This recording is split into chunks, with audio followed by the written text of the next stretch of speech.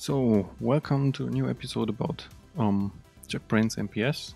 Um, last time we had a um, very basic introduction to MPS in general. Um, what's it used for and, and how does it work um, on a very high level?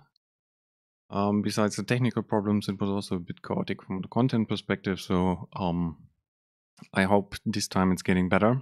So today we are going to take a look at um, some actual code inside of MPS. Um, we are not going to write much, but um, we are going to take a look at the different aspects that a language can have inside of MPS, what these aspects are useful for.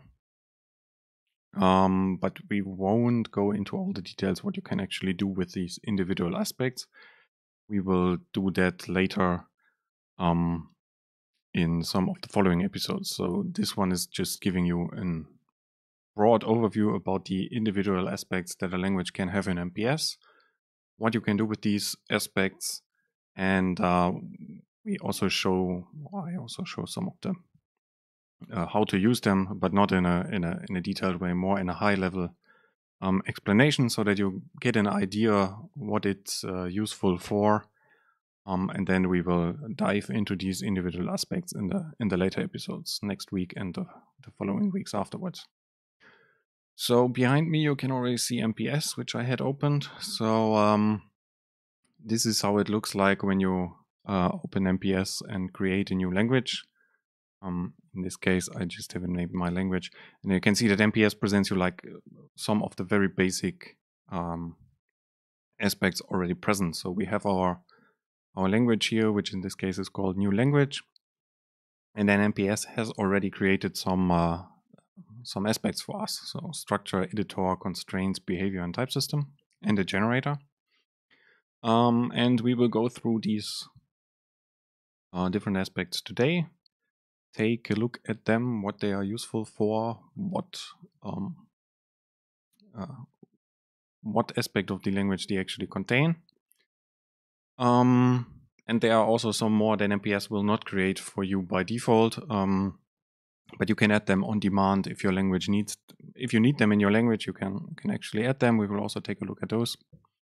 Um, yeah, so let's start with structure, which is the, the very basic thing that uh, you need in MPS. So last time we talked a lot about um, that MPS is a projectional editor and that um, behind all of the things that you see on the screen that there's an abstract syntax tree.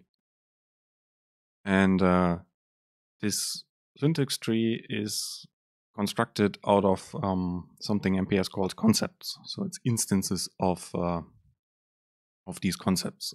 MPS calls them nodes. And the um, definition of, uh, of such a structure, how a node should look like, um, this is what MPS calls a concept. So in the structure aspect of a language, uh, if you right click on it and you go to the new menu, you can see that there are some entries here. The first one is uh, indeed concept. So if we create a concept here, MPS will open the editor for the concept for us. Um, and you can think of a concept of the uh, so the concept is the, the basic data structure of your language. So it's the um, a single concept defines one uh, thing that your lang- or, yeah, one thing you can use in your language. So languages will typically have multiple concepts, maybe uh, even hundreds or more. It depends. Um, so the basic editor looks like this. Um, maybe one analogy that also would work here is that this is your class definition. It does not define any of the uh, of of methods or something, but the, the, data that your your class could hold, not the operations you could perform on it. Um, so the basic editor looks like this. Um, it's a cons. It, MPS tells us that we would like to have a concept. It we should give it a name. So let's give this a name, my concept in this case. Um, and you can see that concepts can extend other concepts. In this case, we extend base concept, which is like the Java object kind of thing from MPS. Um, you can also see that there's implements, which allows us to implement interfaces. We will take a look at that later. Um, then there is um, a field that you can set on the on the concept which tells that it can be root. This means it can exist without any parent. Um, this is important because your, language needs to start at some point with your data structures, right? So if you um, they, they, they, by default, if you set this to false, which is the default, um, this concept needs to be contained in some other thing, and this is also the uh, in some other concept. Um, and this is also why you can define children and references down here. Um, then there is an alias, which is like the the name that people can use to refer to your concept. Um, you can leave this empty, then MPS will just use the, the name that you have given to the concept. But if you um, want to have a more uh, customized um, or shorter name for it, um, the alias is usually used because the alias is also the thing that shows up in various places in MPS, most notably code completion. So the user will see the alias in many places, and the most prominent one is definitely the code completion menu. And can also give it a, a, um, a description, which will also show up in the code completion menu. I will show how it looks in a minute.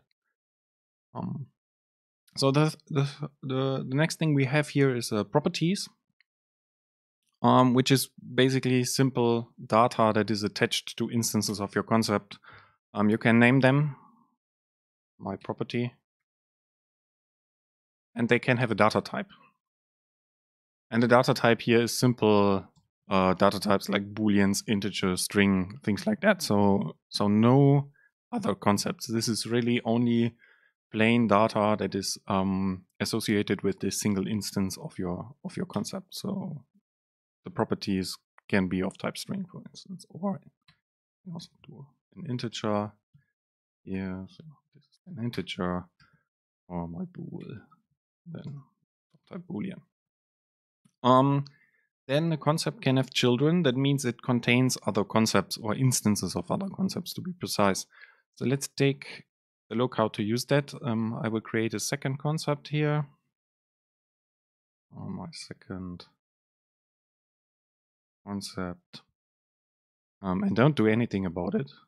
But uh, what I would like to show here is that um, you can add children to your concept, which means you can, um, the concept that you define as a child exists um, as or the instance that you create as a child is owned by the by the parent concept. So for instance, if you delete the parent, the children are automatically deleted as well. So it's really containment um, that you model here. So let's give this um, child a name, which is my child in this case.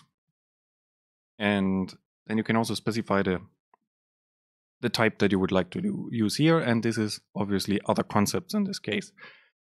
And then the third thing you can specify here is the um, cardinality or multiplicity. So it can either be 0 to 1, which means it's optional. You can have a child. There can be a child in the role my child or not. You can have a 0 to n, which basically means it's a list. So there can be none or potentially infinite number of um, of children under the role my child in this case. It can also be one, which means it's uh, mandatory. Um, it has some implications then because MPS will automatically instantiate it at the point where it constructs your the instance of, of my concept. And then it can also be 0 to n, which means that it's a list that has at least one entry. Um, but in this case, we leave it optional as 0 to 1.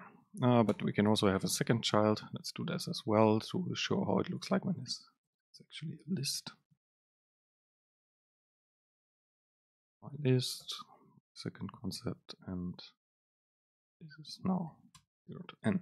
And then the third thing it, it allows it to define is references. So while children are containment and the life cycle is, is closely associated with each other, you can also have a reference which says, uh, which is basically a pointer to some other instance of a given concept. Um, you can think of it like references in uh, in um, in Java. So you're referencing to some other object. um, which is, for instance, useful when your language supports concepts like uh, variable references. Then this would be a typical case where you can reference some other um, concept here. So let's just create one as well. Um, and change this to my concept as well. Um, and references can only be optional, so they are 0 to 1, or they are mandatory. You cannot have lists, or you cannot have more than one reference in a given role. Um, to do that, uh, we you usually have to create a wrapper concept. Uh, we will take a look at that in, in one of the later episodes. But from the basics, this is what you can do with the with the structure aspect. So if I now rebuild the language, and uh, we can also try out what happens now. So um, what I need to do is we have our language definition here. And then MPS distinguishes between uh, languages, which are definitions of your concepts of the uh, things you can use, and then solutions, which is uh, a thing where you can actually instantiate concepts inside of it. You can do this technically um, you can also you you also doing this all the time in languages um, but um, the solution does not contain new language definitions or new concept definitions. Let's put it like this. Um, so let's create a new solution here. And on the used languages side of the solution I will just add my, my language here. So now you can see that there's a uh, a model inside of our solution. So the solution is like the the um, the container for multiple models, and inside of a model, you can instantiate um, concepts. So your program, so to say, is written in a model. Um, maybe I should rename this to actual model and not um, module in this case. My model. Um, and the solution can actually uh, can contain multiple uh, models. Um, if you are thinking in Java terms, a model might relate to a package, for instance. Okay, so now if we right click here, we can see that there's nothing really in the new menu. And this is because none of our concepts uh, that I have created so far are rootable. So let's make our concept rootable, which means it can exist without any parent. Um, so if we now go here to the new menu on the model, uh, what we can see is that the my concept thing that we've created shows up here as well. And if we click on it and create an instance out of it, what we can see is that MPS presents us some like a, a default um, representation here, um, where MPS has looked at our concept structure definition here and shows us all the, the um, the plain attributes, properties that we have defined, the children, and uh, uh, so the two children that we have here, the three properties that we have defined, and the, the reference up here. Um, and this is MPS has basically derived this editor from the structure of our language. And we can now also start typing here, so we can set some some value in this case here for the string um, for the integer property, uh, if you enter like strings like this, this is a string, you can see that there's already some checking going on um, and that we can't enter uh, text here in this field because it's it's expecting an integer. So if we add an integer here, um, the, the red thing goes away. Um, and for booleans here we can see that MPS has already inferred some some default value in this case false. Um, yeah, data types can have default values. In this case, for the Boolean, it's false. Um, we can use the code completion menu actually, which you can invoke with uh, pressing Control Space um, to get code completion here. And um, MPS presents us the options that we have at this location. And since a Boolean can only be true or false, um, we only see these two options in the code completion menu. So let's just uh, select true here in this case. So this is how MPS handles simple properties from that perspective. Um, and then we have the the child that we have defined before. Um, and if we invoke the code completion menu here, what we can see is that it shows uh, my second concept with no other um, information in the code completion menu except for the name that we have given to the concept. So if we select this, um, we have now created an instance of the of my second concept, and it's contained in the inst uh, in the instance of uh, my concept that we have created at the at the very beginning. Um, so we can also delete this again by just pressing back backspace. MPS will um, do something it calls uh, two-step deletion. So it will, in this case, let's do it again. You can see that it's getting uh, this uh, orange red underlined uh, thing. So it um, it demonstrates dem MPS tries to indicate to you what it will delete when you delete this this instance of a concept. This can be quite handy in cases where um, since we are on a projectional editor, we might delete more uh, than the user is expecting us to delete. You can also customize this. We will do this in later episodes. And if we hit backspace again, now the actual concept is deleted. Um, but if we take a look at the code completion menu here, it looks rather boring or technically, let's put it like this. So the name of the concept might not um, match what you would actually like to show to the user. So how can we influence what's in that code completion menu? There is the thing here on the property called alias. So let's call it, let's enter a text here for our second concept, my alias. Alias. And rebuild uh, the um, the language. There's some uh, some key combinations that I'm pressing all the time. You can see at the bottom of the screen what I have pressed. Um, so in this case, I'm pressing Command Shift F9, which compiles the the current um, the current uh, um, model that I'm in. So in this case, it has recompiled my language definition. So if we now go back to the to the concept here and press Control Space at the location where the my second concept is expected, then you can see that now in the code completion menu, we do no longer see the name of the concept, but the alias that we have defined. And so that way you can, this, this is one way to customize what you can see in the code completion menu. That's also the default way in this case to do it. There's much, much more we can do about it.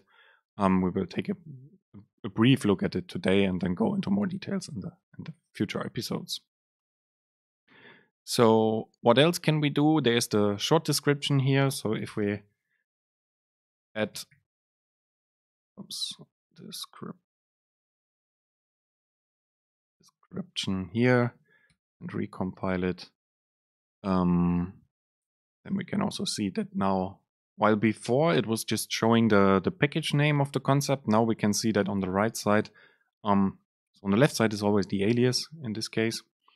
Um, and on the right side, there's the description text that we have uh, given to the concept. So this also shows up in the code completion menu. If we remove it again, uh, here, remove the description text entirely, rebuild it, go back to the concept, and now we can see that it uh, only shows the the um, concept it is extending, which is usually not the thing that you would like to show up there. So short description allows us to, to customize that as well.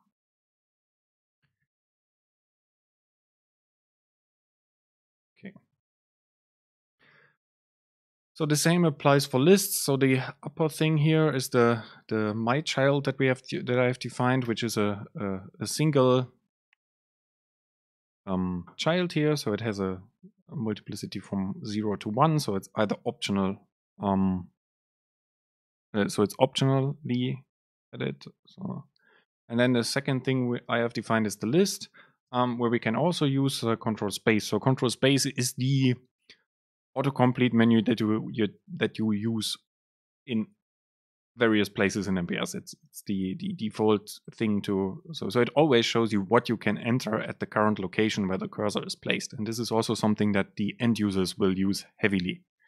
Um, So yeah, it, it helps you to guide what you can actually enter here. So since the list, um, since the property my list here is also of the same concept um, that we have defined before, that I have defined before.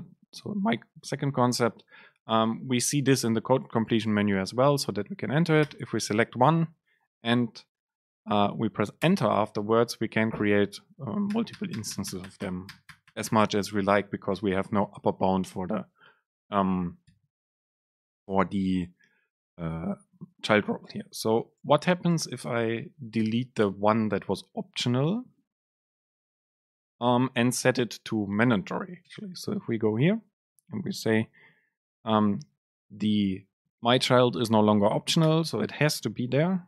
It has a cardinality of one. What we now see is that MPS is um, presenting us an error. So while before this no my child thing was only a normal gray uh, um, editor cell, like it's uh, it's above here for the reference. Now it's become red because MPS has um, automatically inferred that this is a required thing that you need to enter. And if we select it from the code completion menu, this error goes away.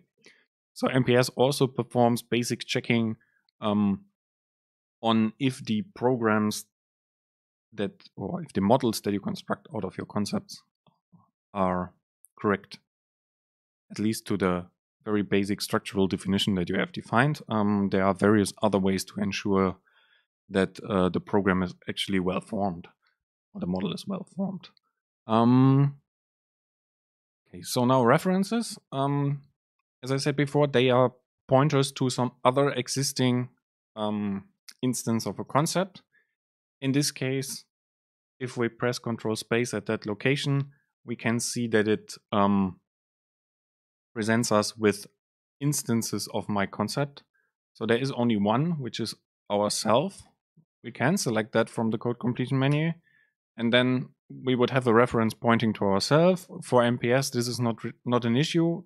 Cyclic references aren't a, aren't a problem for MPS, so you can really choose how your references uh, should point and uh, if there are any cycles in there it's not an issue for MPS technically. I mean if you have an algorithm that somehow works with the with the model you have to take care of handling these cases but MPS itself has no problem with reference cycles.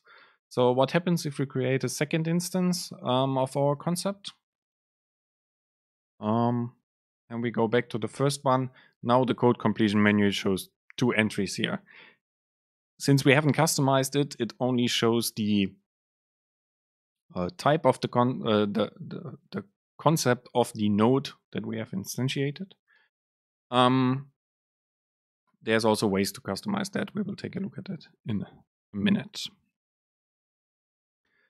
So this is what you can do in the in the structure of your language. It's uh, fairly simple what you can do there. You basically only define how your concept structure looks like.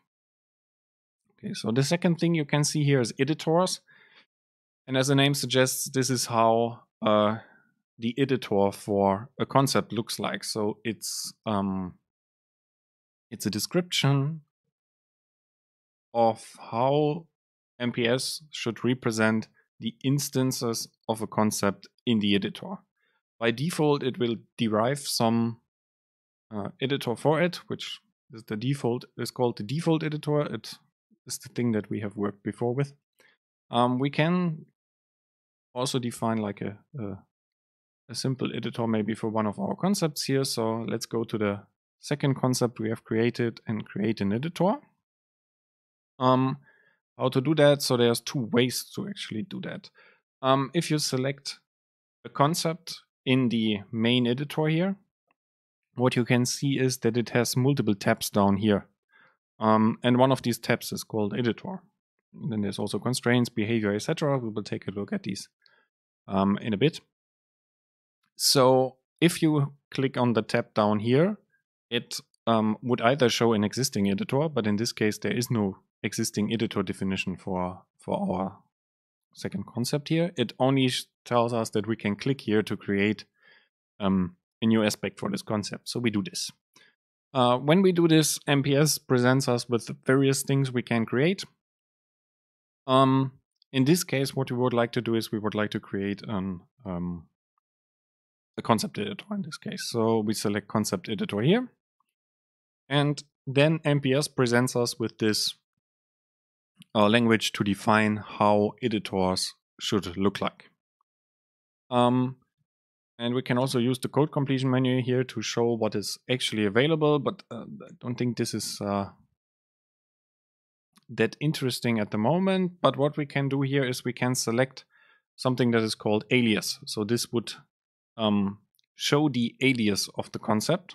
So if we select this, and now we rebuild uh, the language, we could go back here and take a look at the second concept that we have here. So um, the instances of our second concept are contained in the in the my concept here that we have created. So what we can see now is that it shows the actual alias instead of this green um, name of the concept that we have defined. So what we have now done is we have told MPS when you encounter an instance of our second concept, then show on the screen the text that um, or the value of the alias. You can also we can also remove this and have it uh, show some static text. So let's just call it static text. This, rebuild it, and go back here. Now we can see that um, the static text is, is shown in this location. Um, we can also style the things. Um, this is also one thing you will use heavily in a side of MPS, and this is called the inspector, which is um, like a second editor for more detailed um, information that are not shown in this main editor. So the upper window here is called the main editor, and then there is the inspector. And there's uh, one way to open it is to uh, go to the lower right corner of the screen, which I think you can't see at the moment. So let's move the video uh, over to the left. Um, if you go down to the lower right corner, there's um, the event log, and right of it, there's the inspector.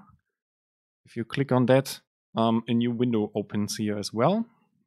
Uh, uh, opens down here on the right side. Um, and it, it allows us to specify additional details of the editor definition here to not clutter the, the main editor with uh, the main editor definition here with all these details. Um, the second way to invoke the inspector is by pressing uh, Command 2 or Alt 2. One second. Oh, this was F2 actually. So, one second. Command 2 should actually work. Yeah, so if you press Command 2 uh, or on Windows Control 2, it also opens the inspector window down here. So in the inspector window for an editor, there's something called styles, and styles can be used to, as the name suggests, like uh, CSS styles, for instance. Uh, you might know CSS styles, so like CSS styles, you can use them to style the editor with various things like colors and, and stuff like this. let's just add a text background color here. Make it, I don't know, red. We build the editor definition. And when we now go to our real editor here, you can see that the, the background is now red. So this is one way of um, uh, of styling your editors. Um, now our second concept here is fairly simple, right? It has no properties, it has no children, etc. So let's take a look at how this would look like for um, a concept that actually has some some uh, structure to it.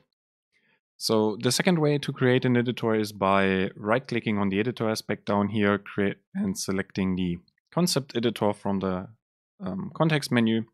And then MPS opens the same editor definition for you, but uh, it's not filled out in the same way as it has been before. So when we did this on the second concept, there was like the, the, the concept here was selected, etc. So now we have to do this manually. Um, and we have to say for which concept we would like to define the editor. In this case, it's my concept. Um, yeah. And now if we take a look at the code completion menu, there's actually more to see. So we can now see that the properties that we have defined are part of the editor definition, uh, are available in the editor definition here. And that also our um, children that we have defined and the reference are also part of the uh, code completion menu now. So what we can do is we can um, tell MPS that in the editor definition, we would like to embed the uh, a cell or a field where we can actually edit the value. So what we can do is we can say, in this case, the editor for our concept, my concept in this case, should only show the my property, which in this case is uh, a string value here, right? So my property that is defined here is a string. So if we now rebuild the editor uh, and we take a look at uh, at our editor here, we can see that now only some value is shown. So while before MPS would simply look at the structure definition of our language, now it uh, is looking at our editor definition. So we have um, overridden what MPS will show to the user. In this case, we only show one of the properties, and we can also type here and change the value, delete um, it, etc. So we can also include other things in this editor definition. Um, but to do this, uh, the DSL for the editor definition requires us to do a bit more because if we now press enter here, you can see nothing happens, right? And only selecting a single property or something like that um, for editing a concept is quite uh, quite odd. So uh, what we can do here is we can select um, a list of cells. So the MPS editors are based on editor cells and um, a list of um, the vertical collection here. So a collection can contain multiple editor cells. In this case, we could say we would like to have a, a text, some text, and then in the next um, line we have the actual cell that is used to manipulate the property. So if we rebuild this, we go back to our concept here, we can now see that on top here, there's the static text, which we can't change. But down here is now the um, editor cell that we have selected uh, that represents the, the value of, um, of our property. So some property value. What you can also do is you can show the same um, property twice. So let's do that. Showing twice and select my property here as well. Rebuild this. Now if we go back and we change the upper value, you can see that the, the lower also changes. So it's uh, the editor is operating on the on the same um, instance here. Um, with the editor, you can also do much, much more. There's um, ways to influence what the user can see in the code completion menu. There's also ways to um, customize how lists are presented. We will take a look at that um, in later uh, episodes in detail, but we can just do one uh, basic demo here, I guess. So the editor DSL that you use to define your editor definitions heavily relies on uh, the inspector to customize how the editor behaves and looks.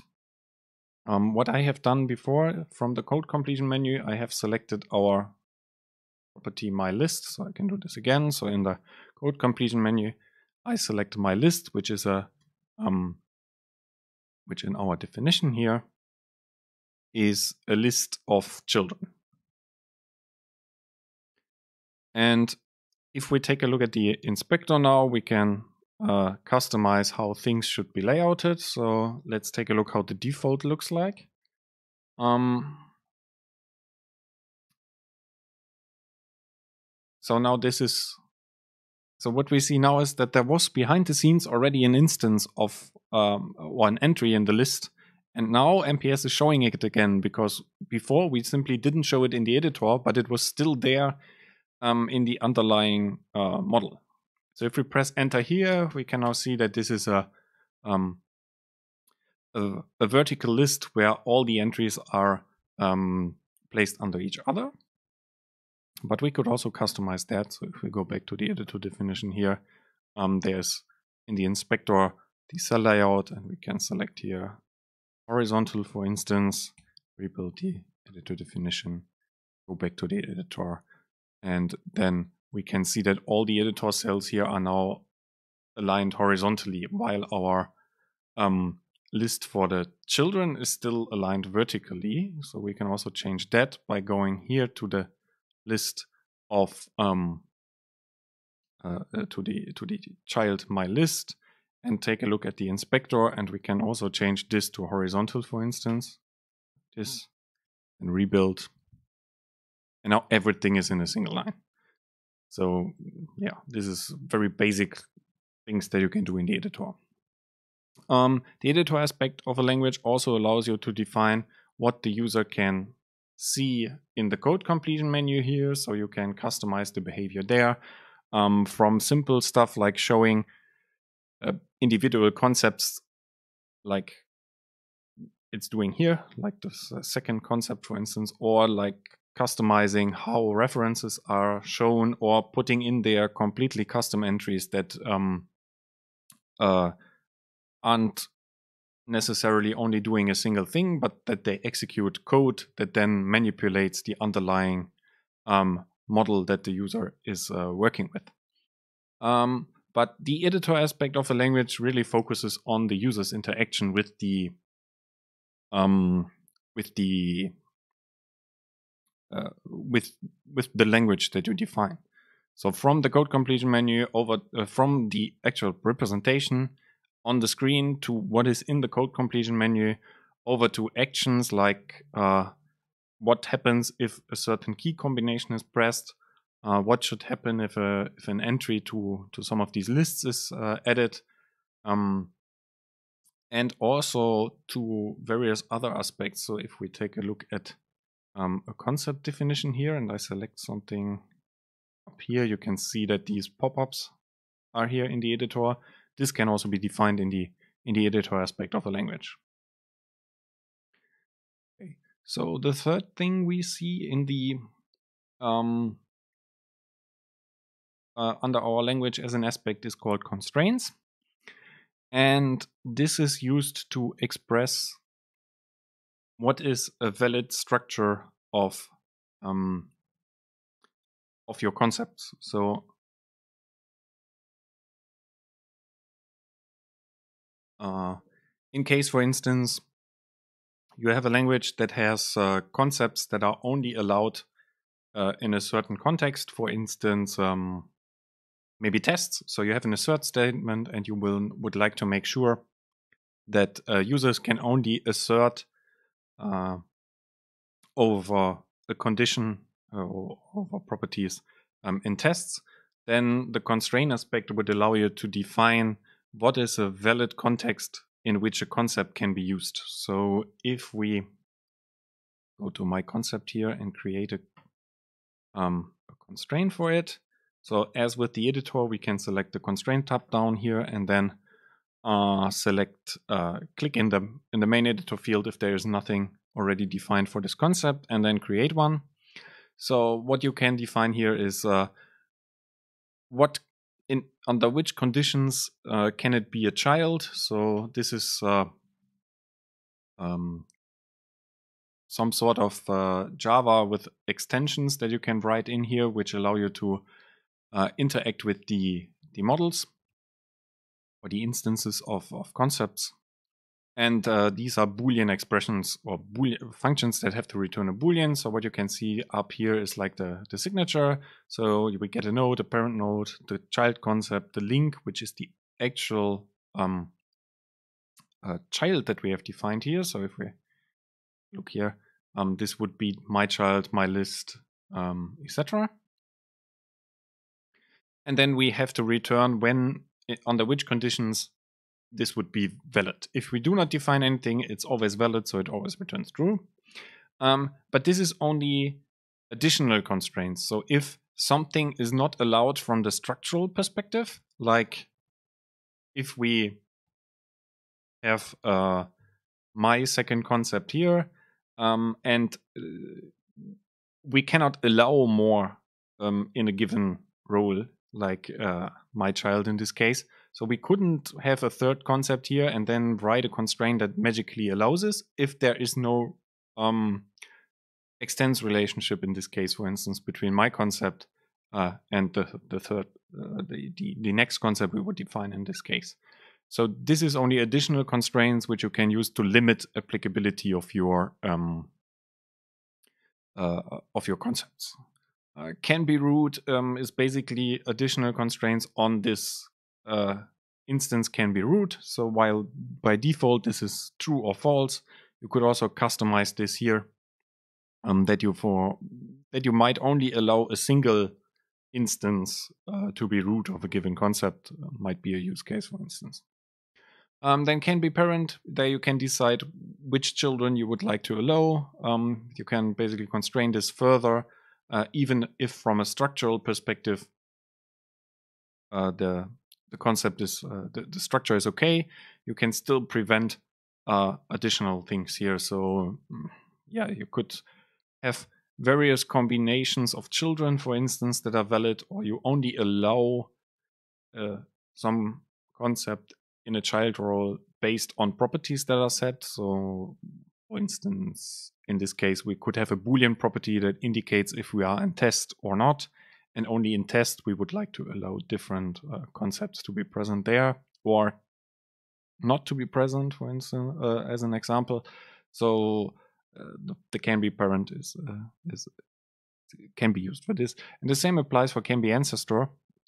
So can be ancestor describes um, not only what our children um, are about, but everything below that. So if you have a, a child that has additional children, you can also uh, influence what is um, a valid um, uh, a valid tree uh, in this case. And then there's property constraints, which allow you to select properties. In this case, for instance, uh, we can select all of the properties that we've defined.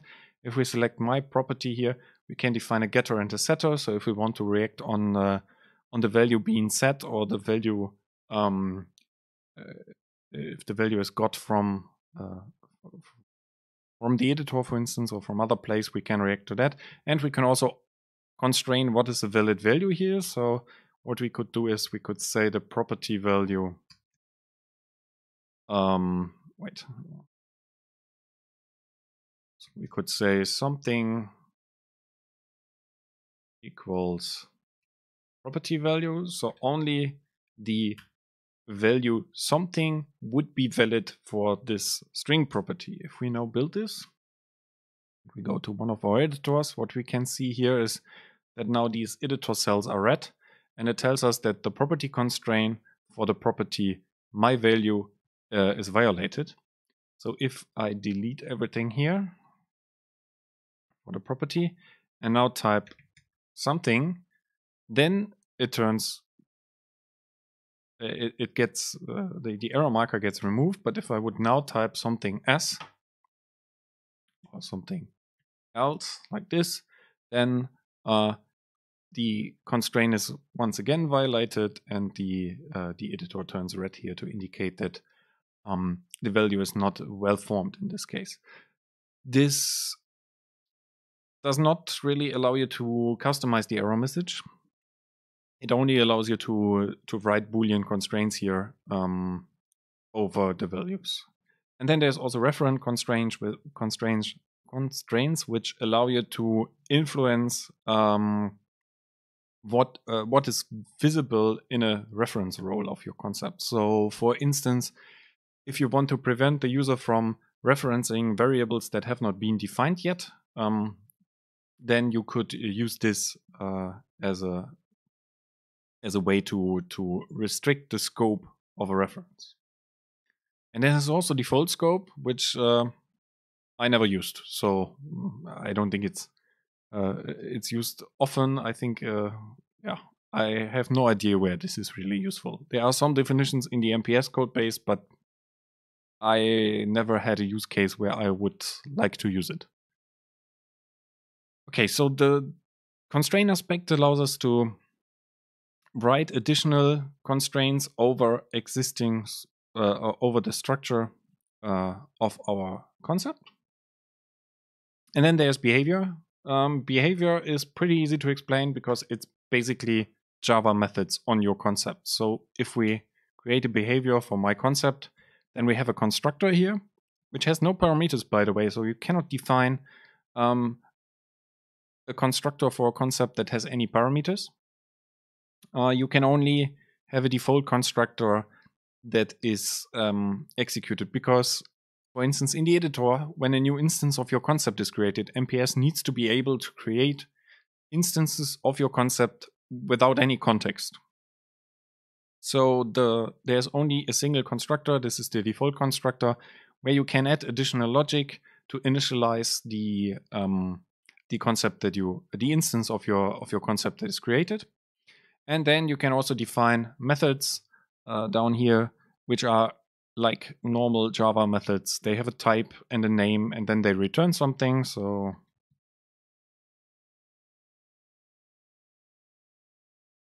return something, and you can write whatever Java code in here, like new file, uh, new object in this case, maybe.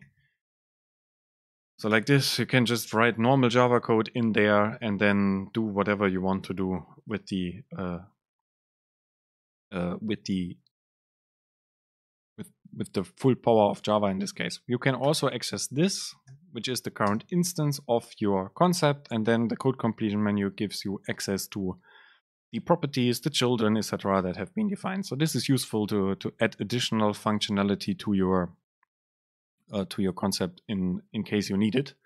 Um, so something that is called from the outside world without um, without uh, exposing the, the, the details. But what you can't do is you can't define, um, for instance, properties or other parts of the structure definition of your concept as private. So they are always public. Everyone has access to them as soon as they um, know your concept definition. So if uh, if you encounter an instance of a concept, you can access all of its properties, all of its children, and the references, etc. Um, behavior methods can also be virtual or abstract. Um, you can make the methods abstract. You can also make them non-abstract, but oh, but virtual. Um, you can also type virtual. Can here string something and then we can also go to public uh, virtual. Oh, there is actually no code completion for this here. Interesting. Okay. So you have to always use the intention menu. Um, this is also one thing you encounter often in MPS. This is called intentions. Um, if you know IntelliJ, this should also be familiar to you, or if you use any other JetBrains IDE, this you, you might come along this concept uh, already. Um, so it's like um, it, every time when this uh, light bulb shows up, you can either click the light bulb to open the menu, the intentions menu, and the intentions menu allows you to um, perform actions in the current context. So in this case, we could add an annotation, we could add documentation, convert to an array, deprecate the method, make it abstract, final, etc. So um, methods on a concept are basically like you can think of them like Java methods. They can also be public, protected, private, um, and they can also be static. So you can make them static as well, but you have to use the intentions menu. This is uh, one thing you have to remember in MPS. Try to use the uh, if if you can't type something, have a look in the intentions menu if it's there, because sometimes the projectional editor will behave strange. So since what I mentioned in the last episode was that MPS is bootstrapped, so everything that we see on the screen uh, on the screen here as well is not text but um, instances of MPS concepts. So it's the same editor that you you MPS uses the same means to define an editor as you do. Um, yeah. So remembering the intention menu is quite helpful. In this case, it allows us to to perform various operations here. So like making the method static, for instance. Um. So this is behavior. Um, one thing I haven't mentioned so far is that apart from concrete concepts like this. Here we have a, a concept that extends something. We can also make concepts abstract. So if we uh, either type abstract here, um, or we take a look at the intentions menu. Here um, we can see that we can make it abstract or final. So this is similar to, to Java, uh, which you might already know. So you can make a concept abstract, then it uh, it cannot be instantiated. So you need to have concrete extensions of it uh, that implement um, a, con a, concrete uh, um, that, that, that are then instantiatable, and you can also make it final, so nobody can can extend the um, the concept that you have uh, here anymore. So abstract concepts are often quite useful when um, you want to define something. Uh, when you defi- when you want to define um, something like an expression, for instance, where you say at this location everything that is an expression is allowed. So, um, but the expression itself is abstract, so it's just the, the base class of all the other implementations. Um, this is one of so so it's really similar to to to what you are used to uh, with uh, classes uh, and objects in this case. So this is your class definition, and then the uh, instance that is in the model here. This is uh, the object, which is an instance of your of your class definition. And as for classes, you can make them abstract um, or final. And there's a third concept here, which is interfaces. So you can also define interfaces. So they are basically abstract. Con uh, they are also abstract, right? So there there are no instances of them. Um, interface. And then you can also define properties, children, etc. on the interface. You can also define an editor already for the interface. Um, interfaces can extend each other. Um, you can also define constraints, behavior, etc. One thing that is, well, okay, not so much different from Java anymore. Um, what you can do is you can define behavior for a concept uh, for an interface as well. So if we define a behavior here, um, by default, the methods in the behavior are abstract. So I just pressed enter at this location here. So where the concept methods placeholder is, if I press enter here, it creates a new um, method. In this case, they are by default virtual abstract. Um, do it like this. Let's create um, an abstract method. And then what we can do is we can make it non-final or uh, non-abstract. We can either, I think, delete. No, we can't. Hmm. I have, this I think worked at the in the past at some point. So if we make it non-abstract, we can also write um, an implementation here already. So this is uh, uh, similar to default methods on interfaces in Java since Java 8. So this is pretty similar to what you are used from from there. Um, and interfaces are similarly used as uh, in MPS for for concepts. The interfaces are they have similar use cases than you have uh, for interfaces in, for instance, Java or any other object-oriented language. Okay, so then the next, the the thing that comes next in the list of aspects of a language that MPS uh, shows us is a type system. So type system, as the name suggests, allows us to define a type system for our language and the individual concepts. Um, and there are yeah multiple concepts that you can instantiate in there. So the easiest one to understand, I think, is a checking rule. So it allows you to perform additional checks on the instances of your concept, like looking if a given combination of properties or children is actually valid. Um, why would you do this in the type system?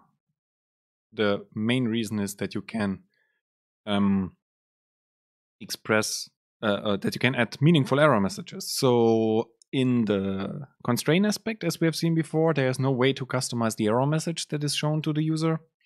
Um, and in the checking rules in the uh, in the type system, you can actually influence what the error message is that is shown to the user. Um, and checking rules also have access to the calculations that the type system has performed. So, um, in case you have a type system that uh, that calc- so so when the type of a variable, for instance, is derived from the initializer, um, then the checking rules have access to the result of this calculation. While in the constraint aspect, you usually don't want to have uh, this overhead involved because the constraints are mostly like local constraints that you write over a single instance of, of some concept. And here you have the bigger picture where you can take a look at what the type system has calculated and then uh, access the results of it. Um, and then there are some other types of rules. So there's inference rules. Inference rules allow you to define um, how the type of some concept is calculated. So let's say you have a, a, a string literal, then the type of a string literal is string. If you have an integer literal, it's integer, for instance. Uh, these kind of things. Uh, it would also allow you to have some more logic in there, like calculating the uh, type based on the value. So you could have a very generic literal, uh, which allows you to enter any number. And if there is a floating point number in there, then the type of this uh, literal is uh, is, a, is a double. And in other case, it's a it's a it's an integer. For instance, you can use that for uh, defining that as well. Um, then there is um, overloaded operations con- rules container, um, which is a more advanced use case um, to avoid code duplication in the uh, in the type system. So it's usually used to uh, to delay a decision about the result of some some type calculation. So let's say we have a uh, our language supports writing something like a plus b, and then a and b are variables, and depending on the type of these variables, um, the result of the plus is different. So if it's two strings, then we would just concatenate them. If it's two integers, we would sum them up, for instance. So the result of the plus is based on the two operands, and uh, overloaded operations container rules are one way to express them. Uh, we will take a very detailed look at that later, but there's no without more context it's hard to to explain the overall benefit that you get from them. Um, then there's additional things like comparison and inequation replacement rules. This is also ways to um, to extend the type system when you want to build languages that are extensible. So um, these inequation replacement rules for instance allow you to replace a calculation that has been done by the type system. So if there is something where the type system, uh, by the rules that are usually involved, would come to a uh, uh, to a result that this is incorrect, then you can override this um, and provide a solution for the problem that the type system couldn't solve. Comparison rules describe how your uh, types or concepts are compared. Um, yeah, subtyping rules allow you to define subtypes. So if you have um, object as a base type that is the subtype of everything, for instance, then subtyping rules are the way to go and express this. Or if you have integers of various sizes like 32 bit, 16 bit, 8 bit, then the um, the the subtypes of uh, your 32 bit integers are the 16 and the 8 uh, uh, bit integers, for instance. This is a way to express that as well. Then there is uh, quick fixes, which is uh, which you can use to um, uh, to help the user to solve a problem that the type system um, has found. So, for instance, if you have your um, A to B, uh, A plus B expression, and uh, one side is object and the other one is a string, you could add a quick fix that the user can invoke um, which casts one of the operands to uh, to to the um, to a to a string, for instance. Um,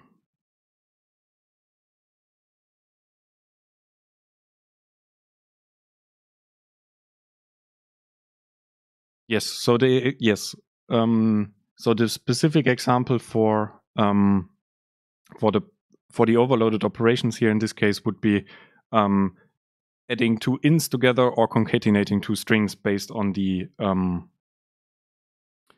uh, uh, for the uh, for the overloaded operations container. Yes. Um, yeah, this is generally what you could do in the type system. And uh, then there's also another aspect that MPS creates for you by default. This is called generator.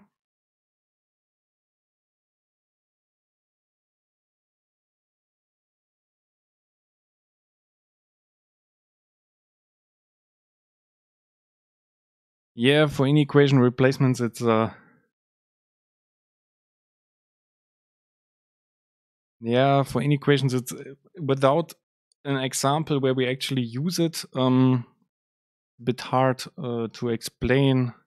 Um, I would do this in one of the episodes where we really cover the the type system in detail, where we can then actually apply this to a smaller example because all the examples where I could take a look at the code bases right now. They are quite large and not so easy to understand if you don't know the complete language definition, or at least a large part of the type system definition of the language.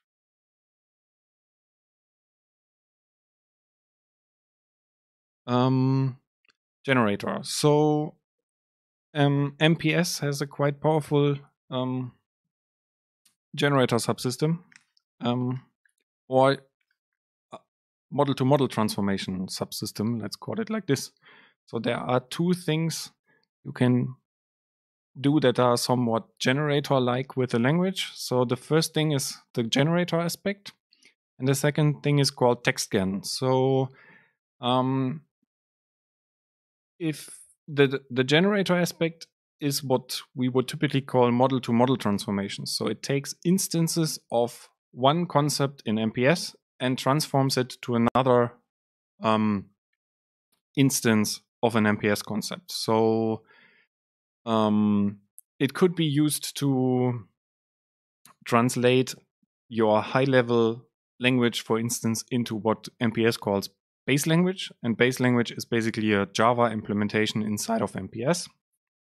And a generator um, has uh, different kinds of rules that you can define in there. So the most simple one is um, a reduction rule, which takes an input and produces an output. So it does a one-to-one transformation, so to say, um, takes a single uh, concept and produces uh, a single output from it. So it can take your.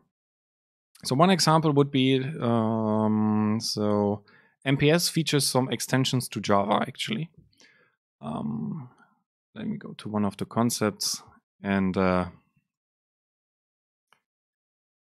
oh, here do this.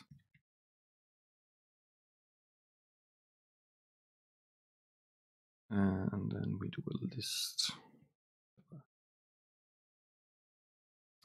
So MPS allows you to um, perform various operations on um, on lists as Java extensions. So, for instance, here I have defined a local variable of type um, list of string, and now we could run a select operation on it that um, selects the first that converts all of the the strings in there to uppercase, for instance. Um, and what MPS does behind the scenes, it's uh, it's translating this select operation that which is an extension to the to the normal Java code um, into something that calls down to a function uh, to to a utility function. So if we take a look what MPS produces from this, all the other stuff here is not so relevant at the moment. So what we would like to take a look at is here. Um, so what MPS has done behind the scenes is, is has taken our s.select to um, a much more complex Java expression here in this case. Created a new instance of a selector and then placed the code that we have written in the select statement um, uh, into the uh, uh, into the um, method here. So we can also see what's going on behind the scenes if we turn on uh, transient models, which allows us to see all the individual steps that MPS has done. So um, let me generate this again. Um, this was the behavior here. Just ignore them for now. So obviously the code doesn't compile at the moment because I don't initialize the, the variables. But what we can see here is the individual steps that the generator has taken. And initially, we can still see that there is this mm, s.select and then our expression down here. And if we take a look at the later phases, um, here, for instance, we can see that MPS has transformed this into something that looks quite different. So it's now a call to this utility function that is then um, converting the Java list into the list sequence, which is the, from the from the library that MPS uses behind the scenes. But we can still see that the and we can see that there is then this select operation called and the um, and the uh, selector is created and the content that we have written in the select statement is placed into the um, select method of this uh, anonymous class implementation here, for instance. So this is something that MPS did behind the scenes with the generator for us. And then later, when this um, is plain Java, so to say, so there are no other extensions anymore from a language perspective, then this is written to disk, and this is done by the TextGen actually.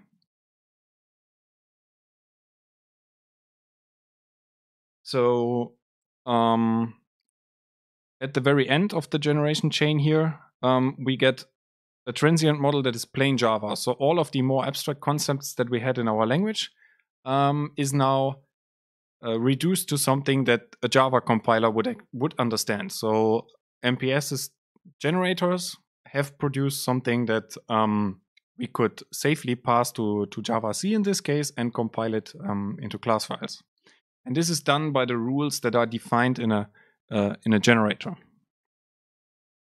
Um, there are different kinds of them. Reduction rule is, uh, as I mentioned before, is the simplest one, which uh, describes a transformation from A to B, so to say. Then there's weaving rules, which are a bit more advanced. They allow you to put uh, things into a different context than they uh, were before. So let's assume you have some um, extension to your uh, some some something that needs uh, a field inside of a of a class that is generated of your out of your concept. Um, but um, the thing that you that you use is not part of the class; it's part of a method. Um, for instance, you have something that allows you to access the value that a parameter of a method had in the last invocation and not in the current one. And you would store this in some kind of variable or list, and the list cannot be part of the um, of the actual method, but it needs to be part of the, the outer class. Then a weaving rule is something where you can define a context where you would like to put something um, and then execute this uh, the, the transformation. Um, there's root mapping rules, which are which are not quite similar to reduction rules, but somehow they are. um, so they allow you to take uh, a root concept that has no parent and transform it into something different. There are some pitfalls involved with it, especially if you want to generate multiple outputs from a single input. We'll cover that in some later um, in some later episode. Then there is um, ways to have conditional root rules, which is basically root mappings but with additional conditions. Um, then there's is applicable, which allows you to enable, disable the generator based on uh, um, arbitrary information. So you could have a configuration, for instance, that you place somewhere in your um, in your model, and then the generator is either uh, uh, activated or not. So the uh, is applicable can control if if the all the rules that you have defined in this configuration are actually applied or not, no matter what the condition on a rule would evaluate to. Um, parameters, uh, I never really use them, so they, I think they can be used to pass information from the outside world into the into the generator chain, but we rarely use them. Um, and then there's mapping labels, and this is quite um, quite useful. So mapping labels are um, a way to keep track of the transformations that you have done in the generator. So if you have a reduction rule um, that takes an input and produces an output, you can use a mapping label to track what was the input and what was the output that has been produced.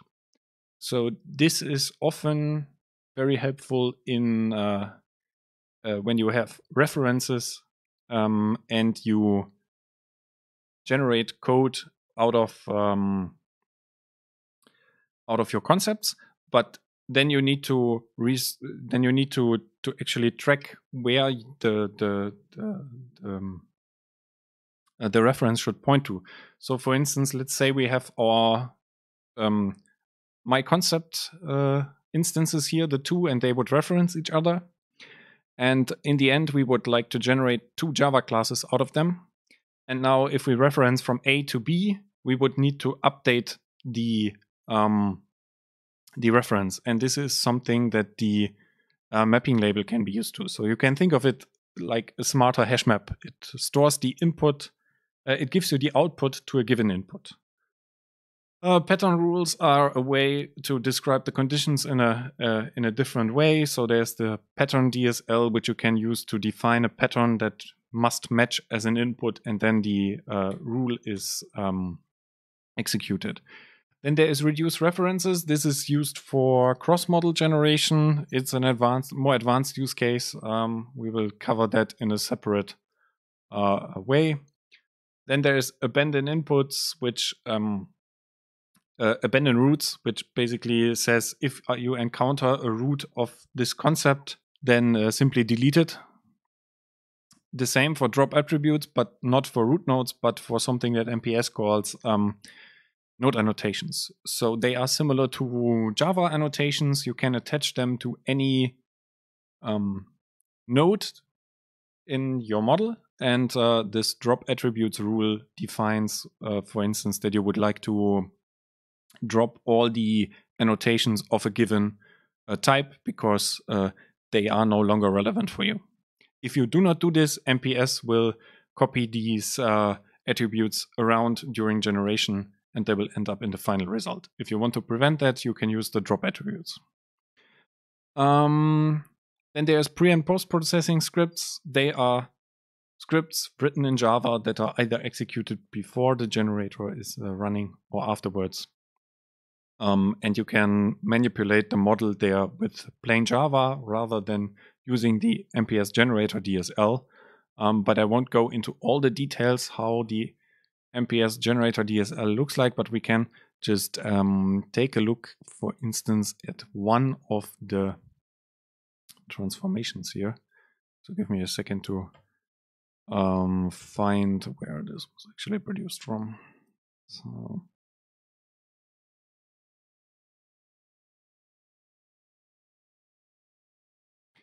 So this is how some of these reduction rules in the MPS notation would look like. So you define for which concepts they are um, applicable. So in this case, it's the select operation we have seen in our behavior. And then there's a consequence which uses the uh, MPS uh, generator DSL to define what should happen in this case. And uh, here it's basically telling the generator to produce this call to the select function. Um, we will cover the details of the DSL later, um, but this is a, the, a very basic example what you can do there. So it replaces it with a call to the select method and then copies the selector, which is the part in this in the uh, in the select operation here. Uh, one second here. So this is the selector part and copies it over as an argument to the uh, select call in this case. And there are much more things in the generator DSL, for instance, to replace references, to post-process your model, etc. But we will take a look at those um, in a more detailed way uh, later.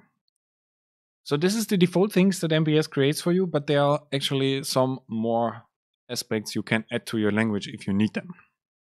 So if you right click on the language, you can go to the new menu here and you can see that there are some more things you can um, define. So first of all, there's the actions aspect, which um, is largely superseded by concepts that you can now use in the editor, but it still allows you to define um, action maps, for instance, which is uh, what should happen if a user, uh,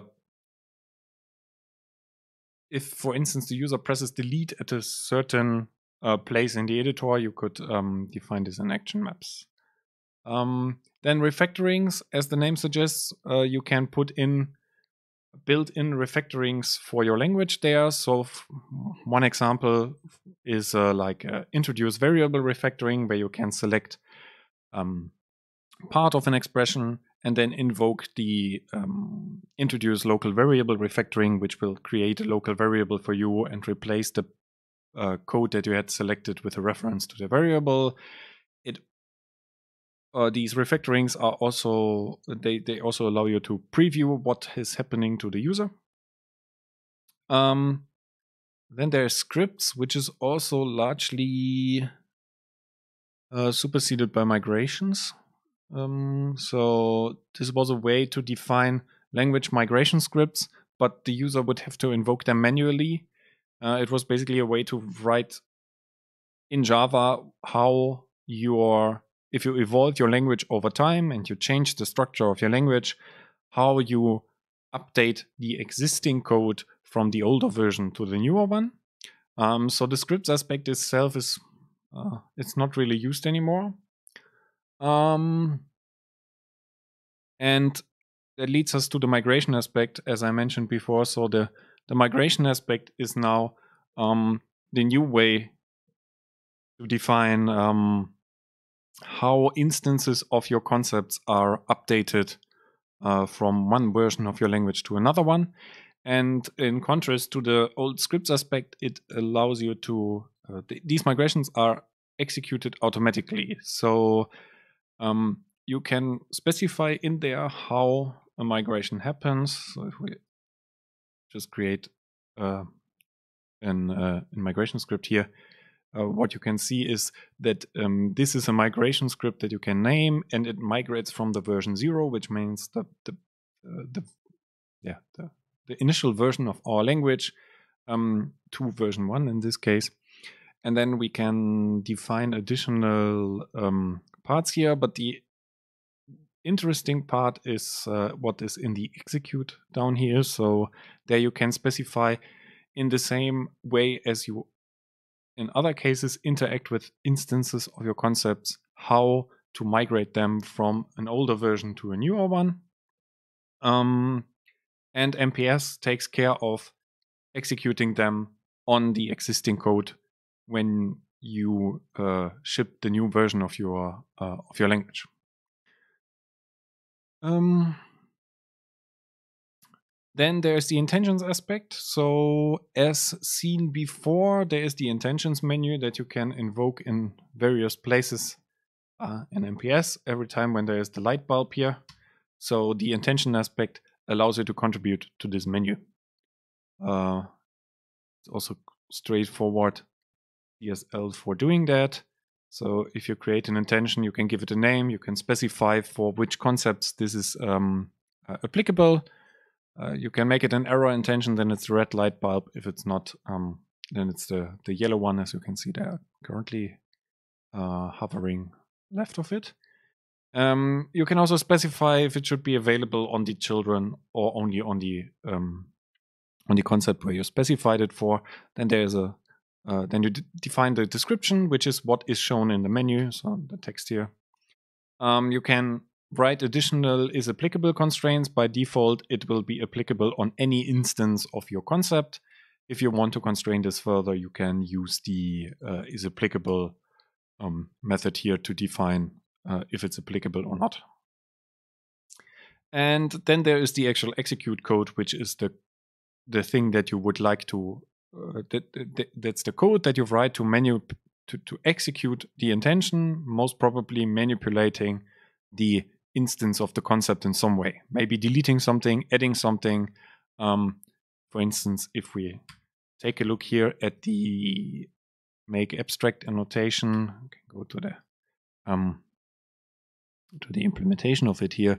So what you can see is that the description is based on the current uh, state of the method. So if it's abstract, uh, the text of this annotation is uh, the description of the menu entry is uh, make non-abstract. And if the method is uh, not abstract at the moment, the text is make abstract. Then is applicable here is overwritten hard-coded to true. Um, you could also just leave it out and it would have the same effect. And uh, then there is the execute block, which takes a look at um, the method here, if it's not abstract, it's um, so what in this case is you have a method that is not abstract and you're now making it abstract. So what it first does, it deletes all the content of the method here, then sets virtual to true because all abstract methods are virtual, and then sets abstract to the um, negation of the current value. So in this case, it is then abstract afterwards. Or if it's not abstract, it simply removes the, the abstract value. Uh, the uh, it sets abstract to to false. Okay.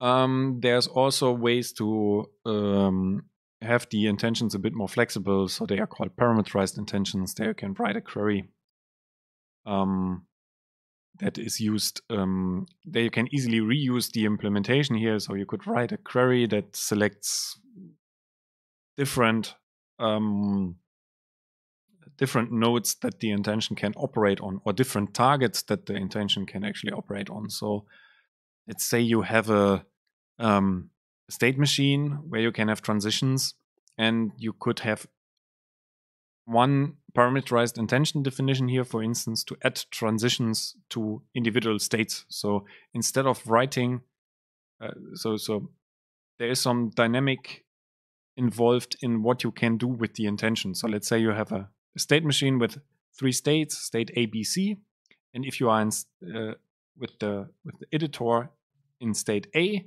and you you open the intention menu, uh, you could show entries for add transition to B, add transition to C, and since um, a uh, the, the, the entries in the menu are based on the states that are available in the state machine, um, you could use the query to to get the um, the possible values and then reuse this this uh, um, and then have the implementation here that takes the, the additional parameter. So it's not as static as, for instance, make abstract uh, was before. Um, another aspect to a language is find usages, which allows you to define patterns that you would like to find uh, in the code base. So for instance, one find usage, usages example is you would, for Java would be uh, find all overriding um, uh, classes of a given, find all overrides for a method in a class, for instance. So you could specify how MPS should find these um, uh, uh, these uh, these usages of a of your uh, method. So um, you can write a, an implementation here that returns the um, found nodes. You can also define if it should be visible, if it's used by default. Um, so if we take a look at the the context menu here, you can see that there's find usages uh, settings, and these finders also show up here. You can click on the um, on the arrow down here, and then it goes to the definition of it. So in this case, this is the find usage finder for uh, the node or any of its descendants. Uh, maybe there's a better example. Check usage settings. Um, yeah, not for this, but yeah, I think I have one idea. If we go to a concept, there is define concept instances. Uh, okay, it's also not as simple. Okay, so yeah, but basically you can um, you can write the code how to find um, the the the specific usages of a concept, for instance, and MPS will also index these for you, so these finders are faster than just doing a query over everything that is in the um, in the repository in MPS, for instance. So they are cached, at least the results are cached, so you can um, access the results faster than you would with um, just writing a query function that iterates over all the nodes in the model. Um, next thing we have is plugin. Um, plugin allows you to associate additional code with the same lifecycle as the language to make it pretty short. So what does it mean? You can put Java code in there with classes. Um, you can also put in UI actions, which are the things that we see here everywhere. So um, all of these entries in the uh, in the context menu, for instance, are called actions. All the things up here in the menu are called actions. Um, and you can define additional actions you would like to contribute here. You could define additional editor tabs, um, tool windows, which are like the inspector or define usages. These are called tool windows, so you can contribute your own there. Facets, this is a thing to plug into the make process of, um, of MPS. Uh, but you can also put in simple Java code. So base language is also allowed here. So you can select a class, an enum or interface, and this is then associated with the language where it's um, defined in. So as soon as somebody is using your language, for instance, the actions and uh, the editor tabs, etc., would become uh, visible to the user, and he can select them from the from the context menu. Uh, you can also define them in uh, separate plugins that are not associated with the language itself, but yeah, this is one way of doing it. Um, what else is there? So then there's uh, data flow. Um, data flow allows you to define how a data flow graph for your language is constructed.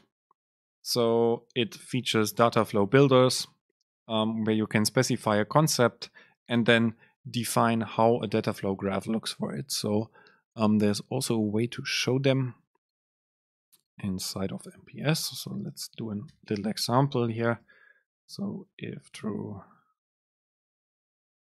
return whatever string something. Um, and if we now take a look at the data flow graph, so there's this language debug menu where we can actually show the graph. Uh, we can see that MPS has built a data flow. Oh, I can't make it bigger. Okay, MPS has built a data flow graph for the method here. So with the with the jump here um, and uh, the uh, return in this case, it has also identified that this is a a, a non-conditional jump because it's always true. So so do something like this, then the graph will actually be a bit more sane. So here you can see that it has now identified that there's a jump here, which then goes down to the other return. And here is another return. So you can also click on them and then it highlights the um, the part of the program that has uh, that is responsible for this entry. So there's a DSL for defining this. If your language has a need for defining data flow graphs and doing analysis on them, you can use the data flow aspect for that. Um, apart from the builders, it also allows you to define analyzers so you can find dead code, you can find conditions that are always evaluating to true, and things like that. So in this case, we get a warning from the data flow system that from the data flow subsystem, for instance. So this warning is based on the data flow. So it tells us that there's an error that this return statement can never be reached because the if statement above here will always um, evaluate to true. Um, okay, so then there's a test aspect which allows you to write tests for your language. We will cover how to test your language uh, later in more detail. Um, but yeah, you can test various aspects of your language, like the type system, etc. And uh, the test aspect is one way of doing it. Um, maybe not the one that is preferred by most people, but um, yeah, it's a way to to define it at the definition of your language, which not always makes sense. So it's often more feasible to define the tests at a in a separate uh, test environment with a test solution where you can combine it with with other um, languages and then test it in a given context. That uh, often makes more sense. Um, then there's TextGen, which I mentioned earlier already. So TextGen allows you to specify how your how the concepts of your language are represented in a text file. So after all of these model to model transformations that we have seen before are executed, in the end, MPS comes to a point where there are no more um, model to model transformations to be done. And then the TextGen kicks in. So this is after all of the transformations have been done. Uh, the TextGen is a DSL for defining how to oh, wrong one uh, how to represent your language concepts as wait, concept TextGen here. So this would allow us to define how the uh, how an instance of my concept is uh, generated into a text file. So this is at the very end of the generation chain. Um, we define that uh, we would like to uh, write this into a text file. And in this case, we can define what is the name of the file. Um, if we have like a property that represents the file name, that should represent the file name as well, we can, can access this here. So we can uh, write code here as well. So we could access, in this case, all the properties or children or whatever is there on the concept. We could also invoke um, behavior methods. So we could say the file name that we want to um, write the instance of my concept into is the um, is the name of my property. We could also define what's the file extension. So if it's .java, .xml, or if we have another custom format that. We can define the actual encoding. So by default, it's UTF-8, but if your um, if your toolchain that processes these files further needs a different encoding, you, you can either select a query or select various encodings here statically. Then there is um, text layout, which can be used to um, to uh, define where in the so it allows you to define sections in the generated text file. Like if you would like to have a Java file generated out of your uh, out of your concept, and all the methods should go into one section, all the properties in a and all the properties in a different one, and maybe all the static methods in a in a third section. You could define the layout here that you have like three sections, and then the individual text generators can be put into the uh, into these uh, uh, the the output of the, the, the the for a method, for instance, could be put into this uh, into a section in the layout. Then there's context objects, which allows you to define a, context for the, the, text generator. And then there is the actual TextGen here, which um, features a DSL for defining uh, for basically appending into a text buffer. So there's append, and then there's also you can use this append expression here or statement, and you can say, okay, I would like to have a starting with a new line or append a static header. Um, or since it's also built in an extensible way, you can say, okay, at this location, place the TextGen of my child. And then MPS would um, look for the instance that is in uh, the my child role here, uh, find the text scan definition for it, and invoke it uh, and place the output at this, uh, append the output to the output buffer at this location. You can also indent the buffer uh, and things like this.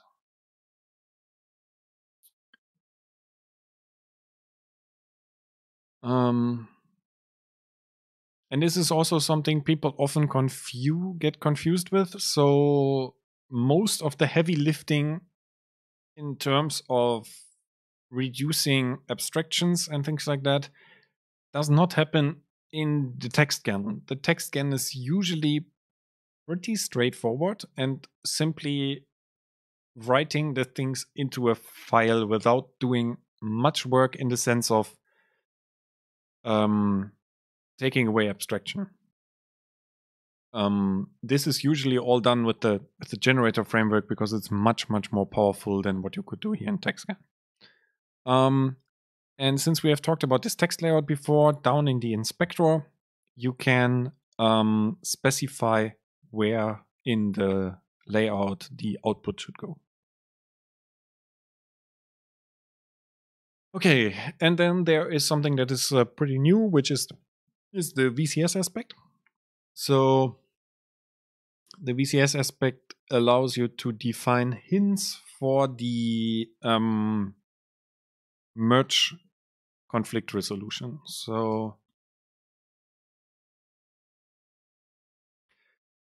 it allows you to to um, to specify how um, the merger should um, act on conflicts. So if you have some a concept where you say um, there is a particular child that is always should always be overwritten. The the merge strategy for this this child should always be ours. So the the thing that we have changed in the conflict side would win. Then you can specify this here. So um, this allows you to reduce the amount of conflicts um, in cases where you store information that you um, uh, that might cause conflicts, but they are not visible for the user or might not even be relevant for the user. So you could um, tell the merge driver to always accept the changes that you bring or always discard the changes that uh, are um, in the uh, that are involved in the in the conflict resolution here. Um, it's also a more advanced use case, um, so we will cover this way later. Um, I guess this is on a was pretty much all the aspects that you can define for a language and a basic use case what you can do with them. Yeah, there's a third thing that is called accessory models. Um, it's doing something behind the scenes in MPS that um, is, for instance, useful in cases where you would like to ship something like a standard library. So your language has a set of things or a set of um, types or something else that should always be available when you use the language. So, for instance, you um, you have a standard library of um, of functions that are always available because they are built into your environment. Then these functions can be referenced by the user. So th- let's say you have uh, you have a language that generates down into Java and that extends Java, and you want to expose some of the classes that you have as um, uh, to the user as soon as he uses the language. Then you can do this with accessory models, so they are also closely associated with the the language. So each time the user is using your language, he automatically gets access to the content of an accessory model, which can be helpful in some cases. Um, you can also define additional models on a language. I have never found a use case where we did this. I mean, apart from accessory models, of course. Um, the properties of a language also have some specifics to it. So if you right click on um, on your language module, you are taken to the language properties. And uh, this is basically uh, six tabs here that you can see. Um, the first thing is the common one. This is the same for every solution or language, um, except for the version here. So this is also the place where you can change the version manually. If you create a new migration, MPS automatically increments the, the version number. Then there's dependencies, which allows you to to manage what is um, what other things you are depending on. So if you, for instance, uh, extend the language, this is the place where this dependency is expressed.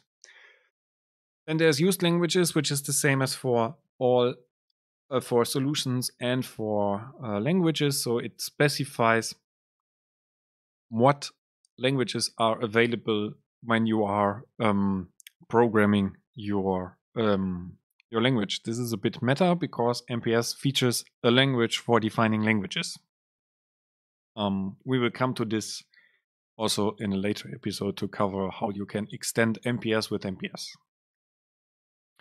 And there's runtime, which is also mm, a bit more uh, advanced. It allows you to specify additional accessory models. So if they are not from your language itself, but you have written them somewhere else, they are part of a solution or something like that, you can associate them here. And then there's runtime solutions. And runtime solutions is um, a way to express a close relationship between some Java code that you have, might have written in a solution that contributes UI actions or that is used by the generator um, to perform additional uh, operations like helper classes that you would like to use in the generator. Maybe you have some complex algorithm that optimizes your models, um, and you would like to use the um, this algorithm inside of the generator. You could put it in a runtime solution and then associate it here. And there's Java, which is the same as for um, for solutions and for the things we took a look at way way back not as part of the series for um getting started with mps but for the series where we had the build example um and then there's facets which allow you to enable more advanced things like custom generation etc okay i think we have covered everything that you can use um, in a language and what your language is made of. Um, yeah. So that was all I have planned for. Um, we're quite good on time, so one hour forty five minutes. Um, so what are we going to do next? Um, not today, but next week. So that is, we will get started with our project which will be a simple language for. So we, uh, I will introduce you to the project that we are going to build. I will give you some hints about what is the language we are starting with. So in short, it will be something more developer oriented um, than like uh, a very abstract DSL. It will be more on the side of something that developers are used to. So it will be a language with um, expressions in there where you can write functions, methods, um, and then we will slowly progress into adding more and more features to it. So from a simple expression language and how to define these expressions, how do you define the editors for it, how do you make them usable to an end user, um, over to adding support for writing tests inside of your language, how to test the language, etc. Um, and next time I will start introducing you to the to more details of the language and we will also start setting up our project, um, getting started with the first concepts. Uh, yeah, so this is the plan for next week, Tuesday at uh, 8 o'clock Europe time. So hope to see you there and uh, have a good evening.